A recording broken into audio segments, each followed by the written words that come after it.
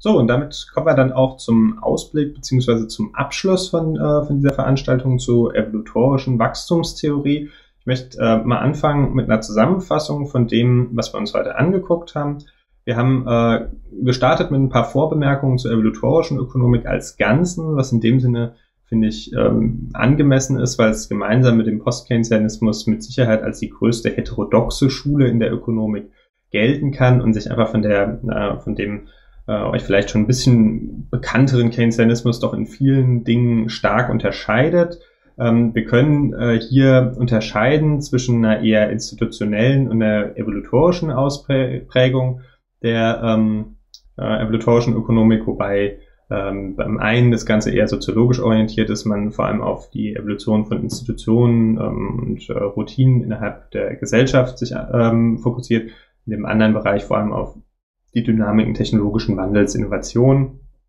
Beide sind aber geeint äh, durch ihr gemeinsames Akteursbild, ähm, die Anlehnung an ähm, die Biologie, an Konzepte aus der Biologie, an die Ablehnung von optimierenden und rationalen ähm, Homines Economici ähm, und vor allem auch ihre Ablehnung des, äh, des Gleichgewichtskonzepts und damit unterscheiden sie sich natürlich auch fundamental von sag ich mal, dem herrschenden Ansatz in der, in der Ökonomie. Ähm, da, wo dort eben der, der Homo economicus äh, regiert und als Akteursbild gemeinhin anerkannt ist, ähm, also äh, tritt hier in der Evolutorik äh, ein beschränkt rationales Individuum, was äh, sich echter Unsicherheit aussieht, ähm, in dem es gar nicht optimieren könnte in diesem Kontext. Deswegen verwendet es äh, sozusagen Routinen, Heuristiken, ähm, es orientiert sich an Institutionen und sozialen Regeln, um in diesen Kontexten entscheiden zu können und ähm, an die Stelle des Gleichgewichtskonzepts, was wir auch in der keynesianischen Ökonomik häufig verwendet haben, tritt eben hier so diese Idee der ökonomischen Selektion, Trial and Error, Mutation, neue Dinge werden ausprobiert, man guckt, wie sie sich in einem äh, Kontext, was eben äh, nach Leistung selektiert, sich ähm, erfolgreiche Routinen ausbreiten, ähm, weniger erfolgreiche aussterben.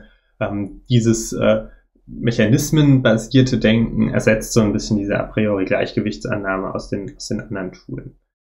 Wir haben das illustriert, wie das in einem konkreten Beispiel angewandt auf Wachstum aussehen kann, anhand vom ersten evolutorischen Wachstumsmodell, was durch Nelson und Winter in einem gemeinsamen Buch entwickelt wurde, was ich sehr empfehlen kann.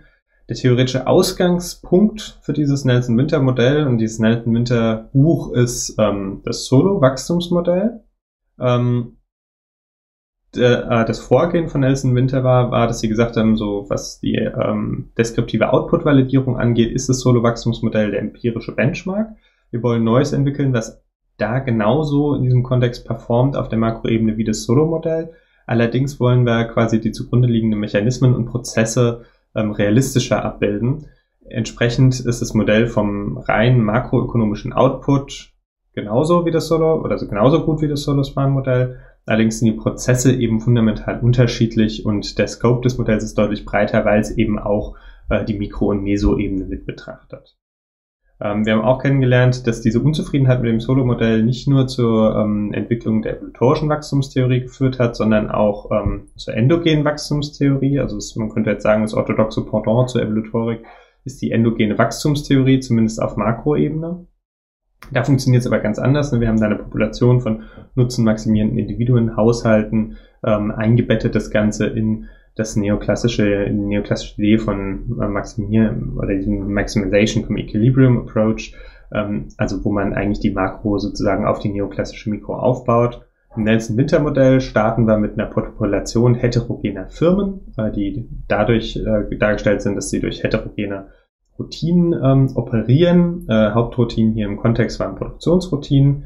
Ähm, die Firmen haben eine Ausstattung von Kapitalgütern, die ihre Größe bestimmen äh, und äh, sie ähm, stellen dann äh, Arbeiterinnen ein, ähm, um gemäß der Produktionstechniken, die sie verwenden, sie versuchen ihren Profit zu maximieren, wobei maximieren hier eigentlich eher das falsche Wort ist. Sie versuchen ihren Profit möglichst hoch ähm, zu ähm, äh, hoch zu bekommen. Das heißt, man spricht im Englischen, hat man diese schöne Unterscheidung, die man im Deutschen so nicht hat. Man hat Profit-Seeking Firms. Ähm, man hat keine Profit-Maximizing Firms, weil das Maximieren in so einem unsicheren Kontext gar nicht geht, sondern man hat Profit-Seeking Firms. Also die Firmen versuchen immer möglichst viele Profite zu bekommen, aber sie können die Profite nicht maximieren, ja, weil sie nur beschränkt rational sind. Äh, sie sind satisfizierend. Wenn sie mit ihrer Performance unzufrieden sind, durchsuchen sie den Technologieraum über lokale Suche und äh, Innovation, Firmen, die da erfolgreich sind, ähm, wachsen. Sie haben mehr Geld, was sie äh, in ihren Kapitalstock investieren können. Das heißt, sie, sie wachsen. Firmen, die weniger erfolgreich sind, schrumpfen. Das heißt, wir haben eine Selektion auf Firmenebene. Wir haben auch eine Selektion von Technologien, weil äh, die Technologien je nach ökonomischem Kontext sich äh, ausweiten oder eben nicht. Also äh, zum Beispiel eine Technologie, die wenig Arbeit braucht und viel Kapital wird von Firmen gewählt, wenn die Kontexte so sind, dass die Löhne ähm, hoch sind. Ähm, sie würde nicht gewählt werden, wenn die no Löhne niedrig sind. Dann würde eine ähm, arbeitsintensivere Technologie präferiert werden. Das heißt, wir haben diese Doppelselektion in dem Modell. Im Ergebnis performt das Modell auf der Makroebene in Bezug auf die ähm, deskriptive Output-Validierung genauso gut wie das Solo-Modell, aber halt eben mit deutlich plausibleren Prozessen und vor allem mit Anschlussfähigkeit an die Mikroebene, an die Management-Literatur. Und ähm, das, was, was Nelson Winter gemacht haben, dass sie im Modell nicht nur mit der Makro-Zeitreihe ähm, evaluiert haben, sondern auch zum Beispiel die resultierende Größenverteilung der Firmen sich angeguckt haben. Diese Multilevel-Validierung, die ist bis heute eigentlich charakteristisch für evolutorische Modelle. Vielleicht als Ausblick des Ganzen, ein großer Teil der evolutorischen Ökonomik heute beschäftigt sich eben nicht nur mit Wachstumstheorie, sondern auch mit Dynamiken auf der Industrieebene und empirischer Innovationsforschung. Insgesamt ähm, kann man sagen, dass diese evolutorische Wachstumstheorie weitgehend aufgegangen ist im breiteren Feld der evolutorischen ähm, Wachstumsökonomik, äh, der evolutorischen Makroökonomik. Warum?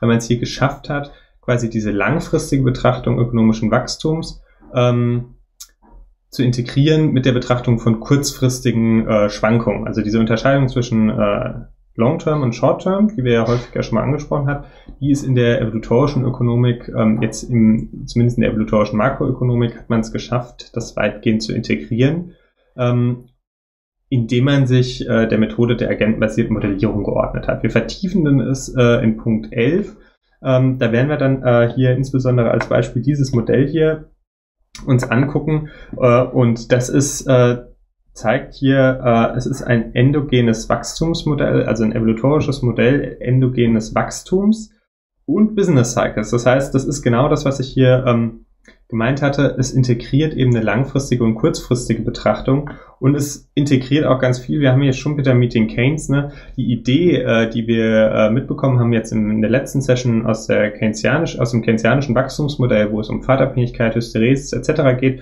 das alles, das spielt auch eine Rolle hier in, äh, in diesem Modell und der evolutorischen ähm, Makroökonomik allgemein. Und das ist, äh, denke ich, ein, ein super spannender Bereich, ähm, in dem wir uns dann übernächstes Mal auseinandersetzen werden. Das nächste Mal schauen wir uns aber dann nochmal an, wie das Ganze im Mainstream gemacht wird. Da schauen wir uns nämlich an, zum einen für die kurzen Frist die Real Business Cycles Modelle und deren, ähm, deren Nachfolger, die, die DSGE-Modelle, ähm, die sozusagen das, äh, das äh, sag ich mal, das orthodoxe Pendant zu dieser Art der Modelle ist. Für heute können wir aber sagen, wir haben hier jetzt eines der wichtigsten Beiträge, glaube ich, des 20. Jahrhunderts in der ökonomischen Dogmengeschichte kennengelernt, dieses Nelson Winter äh, Buch. Ähm, was zentral ist für alles das, was heute oder vieles, was heute in der evolutorischen Ökonomik passiert und wiederum auch die Ursache oder die Grundlage für viele weitere ähm, wichtige Beiträge in dem Bereich darstellt. Und ähm, ja, ich hoffe, ich konnte euch da ein bisschen begeistern. Ähm, ihr fandet es interessant und ansonsten sehen wir uns dann äh, nächste, nächste Woche mit einem ganz anderen Fokus, nämlich auf den ABC und äh, DSG-Modellen. Bis dahin, schöne Woche und macht's gut.